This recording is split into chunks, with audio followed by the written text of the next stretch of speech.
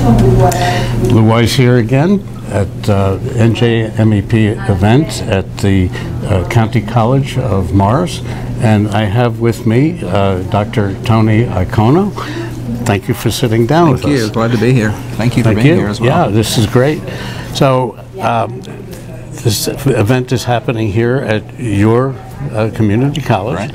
Uh, and we heard in one of the speeches earlier that you're building a 30,000 square foot manufacturing uh, facility Right. uh, for your student base.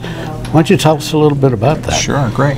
Well, County College of Morris has long had engineering manufacturing programs, and we partner with industry in the area as well. Mm-hmm. And what had happened is industry really is expanding, coupled with they're meeting a, a lot of retirements that are going on as well, and then there's a lot of modernization occurring.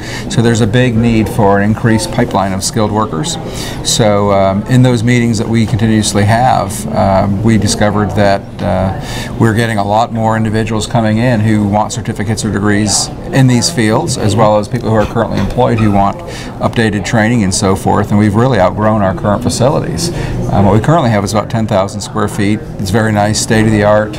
Um, you can see the industry influence. A lot of the equipment that's in there came from our industry partners. Um, but to achieve the goal of really helping them to expand and serving them as completely as possible, um, the solution was to simply expand the facility itself and then to bring in new programs. So we're fortunate that we received state and county funding as well as uh, some of our industry partners stepped up with uh, contributions as well, primarily equipment and scholarship dollars uh, for people to go through the program. And that gives us the ability to approximately triple our space. So we're going to move from a roughly 10,000 square feet to about 30,000 square feet of space on this campus. And it is our hope to open that building in the fall of 19. And we'll be able to serve individuals a lot more completely. This is great. Uh, my uh, co-host uh, Tim Grady and myself have been doing manufacturing talk radio now for about four years, and we've been talking to people all over the country, uh, obviously about manufacturing and the problems of manufacturing, and the problems about education. And uh, it seems as though that we're all beginning to get it. Right. Uh, we, Right. we really can't rely a whole lot on the federal level, but certainly state and county. They're really doing uh, some very creative stuff all over the United States. Right, And I'm really thrilled to have you sit here with us and you, tell us a you. little bit about it. Uh, is the enrollment for your program from uh, increasing at the same rate as your square footage? Yeah, no, we- we'd love to see 30,000 more students Yeah. coming in. Uh, uh, no one, no one enjoys that luxury uh, by any stretch at all. But the nice thing, though, is really the nation as a whole has been on a, a long decline in enrollment, and that's really starting to stabilize and grow again as well.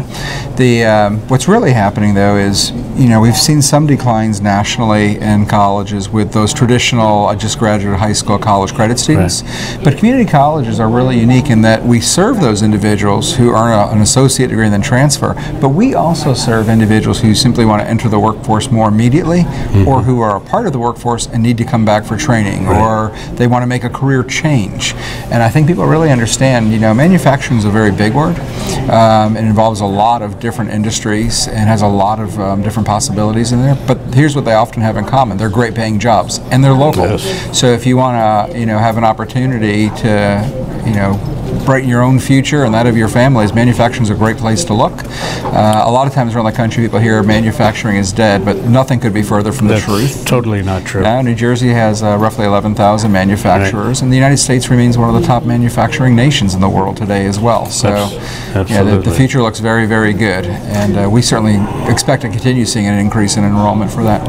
Well, we certainly need it, being that uh, the retirement rate and uh, uh, people just not not enough people entering the workforce in the first in the first Right, place, right. and then the retiring rate. So this is really uh, fabulous. Um, I had my uh, uh, godson Mm-hmm. uh, come to Manufacturing Day about two years ago, Good. and um, he sat with us and he saw what's going on. And the reason why I did it was I wanted to introduce him to manufacturing. That's right. Well, he decided to take radio administration courses, and he's now, for his school, Okay. he's doing all the sports announcing. nice. That's exciting. So I said to him, uh, I brought you here for manufacturing. But he found his love. He He found his it. yeah, he really did. He That's, really that's did. one of the great secrets in life. Find find what you love and follow it. So, Tony, thank you very much. Thank you so much. And Thanks good for the luck. important work you're And doing. When, that. when uh, I hope that uh, we can get on your uh, PR release list, so when your Absolutely. some other activities come up, Sure. we'd love to talk to you again. Uh, we, likewise. Thank you so much. Thank Appreciate you. it. Thanks for being here Right, today. thank you. Okay.